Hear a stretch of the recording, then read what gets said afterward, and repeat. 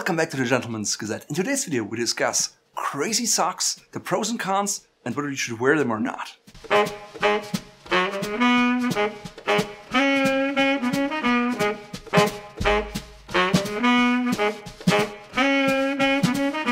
Some of you may wonder, do I actually wear these socks? The answer is unequivocally no, and I'll explain why here. So what exactly are crazy socks? There are socks that have bold colors, bold patterns, and whimsical motifs such as footballs, baseballs, or a solar panel. You can find them in nearly every color under the sun, and sometimes they have comical motives or serious motives or just something that an artist came up with. In the last few years, they've almost become mainstream amongst casual business cultures, maybe inspired by Silicon Valley or just a startup culture where formal traditional dress codes are not enforced. Many men think crazy socks are a good way to express their unique style and personality, yet let's discuss the pros and cons. First of all, a crazy sock really makes a statement and you're definitely different and you stand from the crowd. So if that's your ultimate goal, crazy socks are a good way to achieve that. Now, standing out can also mean being the odd one out or being weird,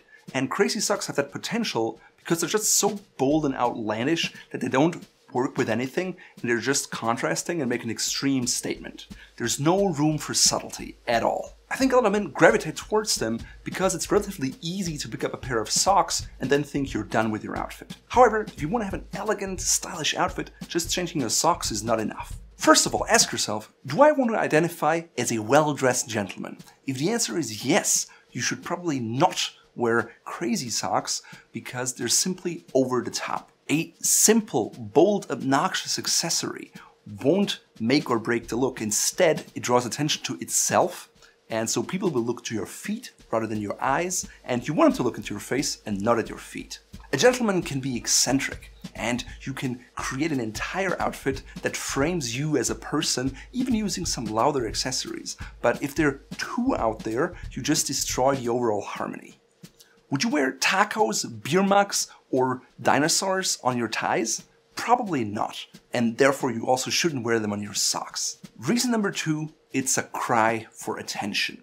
It basically says you can't get people to look at you or get an interest in you in any other way. That's why you choose something that's so overly bold and out there because that's your last resort.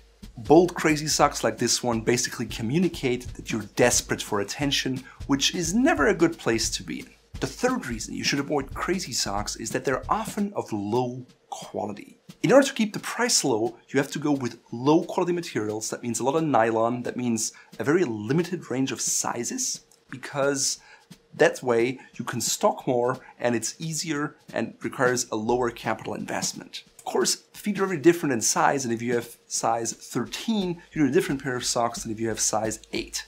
While doing research for this video on crazy socks, we actually found that oftentimes they only come in short lengths never over the calf, and they have a lot of nylon and come in very limited sizes. Most of the time it's one size fits it all, or they have three sizes at the most. So the problem is those socks will slide down inevitably and expose your ankles, which is not something you want to show to others. The cotton used is of lower quality, it's stretched with nylon and polyester to keep the price point down, and basically what you pay for is the design or the eccentricity.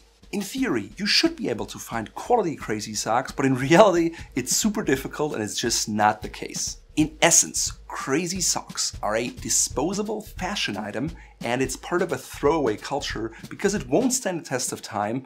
It's not something you can wear on and on and on, and it's just not something that combines very easily with other items in your wardrobe, and for that reason we suggest not to wear them. Of course, the choice is entirely up to you. If you want to set a statement that way, go for it. If you want to be a well-dressed gentleman with a timeless wardrobe that is elegant and highlights the person behind it, avoid them. Instead, go with solid colored socks or maybe two-tone socks, such as the shadow stripe socks. That way, you still can add some personality and color to your outfit without going overboard and looking obnoxious. Also, bear in mind that if you have crazy socks, you're less likely to be taken seriously. Usually those socks are associated with teenagers or hipsters, but not with men who work in an office environment who are professionals. So who can wear crazy socks? It's perfect for people who want to be outlandish, geeks, or artists who have the Mona Lisa on their socks. For example, if you have like orange and gray, it has a brown tone, so you can wear it with brown tones, you can wear it with a pair of denim, and they're colorful, and you can pick up an accessory like your tie or your pocket square and combine it in a way that is meaningful, stylish, and it will earn you compliments. For example, here you can see a royal blue sock with a subtle pair of clocks on the outside paired with seersuckers and brown suede shoes. It works really well, it's not too outlandish, but still very stylish. If you want to learn more on how to pair colorful socks with your pants and shoes so they look stylish, please check out this in-depth video here. As a conclusion, it's okay to go with bolder socks.